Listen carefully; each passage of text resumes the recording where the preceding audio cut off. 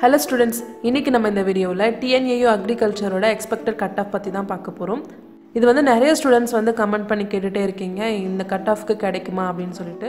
So அதனால தான் இந்த வீடியோ மேக் பண்ணுறோம் இதில் வந்து நம்ம எப்படி பார்க்க போகிறோம்னு பார்த்தீங்கன்னா டூ தௌசண்ட் நைன்டீனோட ரேங்க் லிஸ்ட்டை வச்சு தான் பார்க்க போகிறோம் ஸோ அதில் எந்த அளவுக்கு ரேங்க் அடிச்சிருக்கு எந்த அளவுக்கு கட் ஆஃப் இருந்திருக்குங்கிற ஒரு விஷயத்தை தான் பார்க்க போகிறோம் ஸோ அதை கம்பேர் பண்ணும்போது உங்களுக்கு ஒரு ஐடியா கிடைக்குங்கிறதால தான் இந்த வீடியோ பண்ணுறோம் நம்ம ரேங்க் லிஸ்ட் பார்க்கறதுக்கு முன்னாடி ஒவ்வொரு டிகிரிக்கும் எவ்வளோ சீட்ஸ் இருக்குங்கிறத நம்ம பார்க்க போகிறோம் இந்த டேபிளில் பார்த்தீங்கன்னா உங்களுக்கு தெரியும் இந்த ஃபஸ்ட்டு காலம் தான் ரிசர்வ்டு கேட்டகரிக்கு உள்ளது.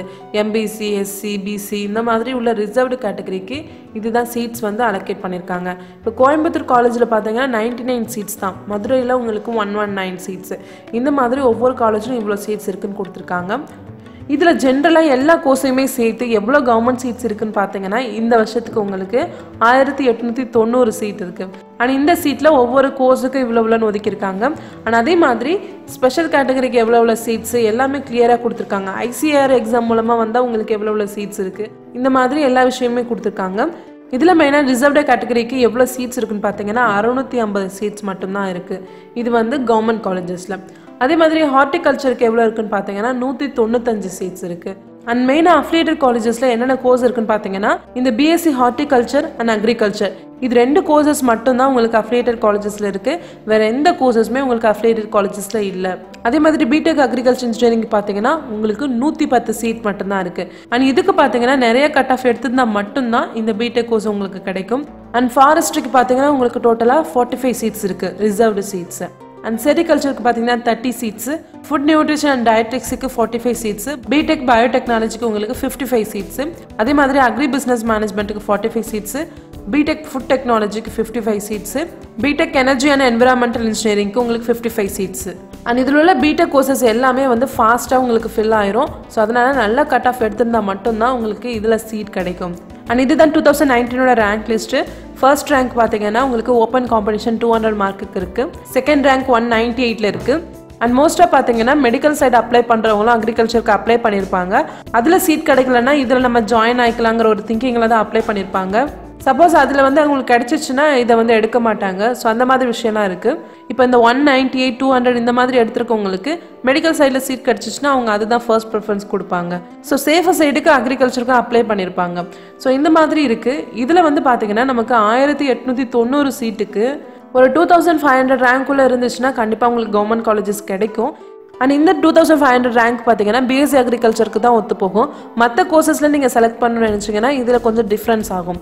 அண்ட் அதே மாதிரி இந்த டூ தௌசண்ட் ரேங்க் உள்ள பிசி வந்து நிறைய பேர் எடுத்திருந்தாங்கன்னா அவங்களுக்கு மேபி சீட் கிடைக்க சான்சஸ் இருக்காது. ஏன்னா கம்யூனிட்டி ரேங்க் பேசிஸில் தான் எடுப்பாங்க. இதில் வந்து நீங்கள் பார்க்கும்போதே தெரியும் பிசி தான் நிறைய பேர் அதிக கட் ஆஃப் எடுத்திருக்காங்க. ஸோ இந்த மாதிரி எடுத்திருக்கக்குள்ள இவங்களுக்கு வந்து ரிசர்வ் பண்ண சீட்ஸ் மட்டும்தான் கிடைக்கும். சப்போஸ் ஒரு ஒன் எயிட்டி ஃபைவ் கூட எடுத்திருப்பாங்க ஆனால் அவங்களுக்கு வந்து கிடைக்க சான்சஸ் இருக்காது. அந்த மாதிரியும் இருக்கும். அண்ட் ஒரு சில ஸ்டூடெண்ட்ஸ் பார்த்தீங்கன்னா எனக்கு வந்து பிஎஸ்சி அக்ரிகல்ச்சர் தான் வேணும். எனக்கு மற்ற கோர்சஸ்லாம் வேணாங்கிற ஒரு திங்கிங்கில் இருப்பாங்க. ஸோ அந்த மாதிரி உள்ளவங்கலாம் வெளியே போயிடுவாங்க ஸோ அதனால் நீங்கள் ஒரு ஒன் எயிட்டிக்கு மேலே கட் ஆஃப் வச்சுருந்தீங்கன்னா தாராளமாக அப்ளை பண்ணலாம். கிடைக்க சான்சஸ் இருக்குது அண்ட் அதே மாதிரி இந்த அக்ரிகல்ச்சரில் சீட்டை கன்ஃபார்ம் பண்ணணும்னா நீங்கள் இருபதாயிரம் பே பண்ணி தான் இந்த சீட்டை வந்து கன்ஃபார்ம் பண்ண முடியும். சப்போஸ் அந்த அமௌண்ட் பே பண்ணாமல் இருந்தீங்கன்னா அந்த சீட்டை வந்து வேறு ஒருத்தவங்களுக்கு கொடுத்துருவாங்க.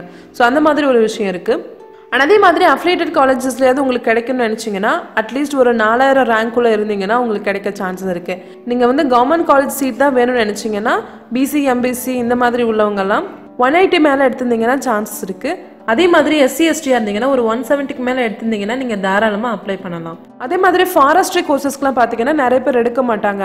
லாஸ்ட் இயர் அதுக்கு பார்த்தீங்கன்னா ஒன் எயிட்டி சிக்ஸில் தான் கட் ஆஃப் ஸ்டார்ட் ஆகிருக்கு ஸோ அந்த மாதிரி டிஃப்ரெண்ட்டாக உள்ள கோர்சஸ்க்கு வந்து சான்சஸ் இருக்கும். ஸோ அதனால் நீங்கள் அப்ளை பண்ணலாம். அதே மாதிரி ஹார்டிகல்ச்சருக்கு லாஸ்ட் இயர் ஒன் நைன்ட்டியில் கிடச்சிருக்கு. இந்த மாதிரி டிஃப்ரெண்ட்டாக உள்ள கோர்சஸ்க்கு வந்து கட் ஆஃப் வந்து கம்மியாக இருக்குது நம்ம டூ தௌசண்ட் எயிட்டீன் அண்ட் நைன்டீனை கம்பேர் பண்ணும்போது டூ தௌசண்ட் எயிட்டீனை விட டூ தௌசண்ட் நைன்டீனில் வந்து கட் ஆஃப் வந்து ரெடியூஸ் ஆயிருக்கு. ஃபார் எக்ஸாம்பிள் டூ தௌசண்ட் எயிட்டீனில் வந்து ஃபர்ஸ்ட் கட் ஆஃப் மார்க் வந்து ஒன் நைன்ட்டி எயிட்டாக இருந்துச்சு. பட் டூ தௌசண்ட் நைன்டீனில் வந்து அது one ninety five one ninety four அந்த மாதிரி தான் இருந்துச்சு. அண்ட் இந்த வருஷம் ரேங்க் லிஸ்ட் ரிலீஸ் பண்ணதுக்கு அப்புறம் அந்த கட் ஆஃப் ரேஞ்சஸ் எப்படி இருக்குங்கிறத நம்ம சொல்லலாம். அண்ட் நிறைய ஸ்டூடெண்ட் இதை பற்றி டவுட்ஸ் கேட்டுட்டே இருந்ததால தான் இந்த மாதிரி ஒரு கம்பேர் பண்ணி நம்ம சொல்லலாங்கிற ஒரு ஐடியா வந்துச்சு. கண்டிப்பாக இதுலேருந்து உங்களுக்கு ஒரு கிளாரிட்டி கிடைச்சிருக்குன்னு நினைக்கிறேன். அண்ட் நான் நிறைய ஸ்டூடெண்ட்ஸ்க்கு வந்து ரிப்ளை பண்ணியிருக்கேன். இந்த கட் ஆஃப் கிடைக்கும் கிடைக்காது அப்படின்னு சொல்லிட்டு. அண்ட் அது ஒரு ஒப்பீனியனாக எடுத்துக்கிட்டு இன்னும் நிறைய பேர்கிட்ட நீங்கள் கேட்கலாம். நான் சொல்கிறத ஒரு ரிப்ளை மட்டும் வச்சு நீங்கள் முடிவு எடுக்க வேணாம். அண்ட் இந்த டூ தௌசண்ட் நைன்டீன் ரேங்க் லிஸ்ட்டும் உங்களுக்கு சீட் கிடைக்குமா இல்லையாங்கிறதுக்கு ஒரு ஹெல்ப்ஃபுல்லாக இருக்கும் நான் நினைக்கிறேன். ஸோ இந்த இன்ஃபர்மேஷன் உங்களுக்கு ஹெல்ப்ஃபுல்லாக இருக்கும்னு தோணுச்சுன்னா மறக்காமல் உங்கள் ஃப்ரெண்ட்ஸ் கூடயும் ஷேர் பண்ணிக்கோங்க. தேங்க்ஸ் ஃபார் வாட்சிங்